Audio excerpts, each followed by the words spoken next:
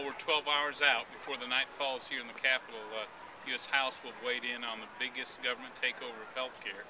There's still some uh, still some loose ends yet. We're going to fight it uh, all the way, uh, and we're going to leave it on the field.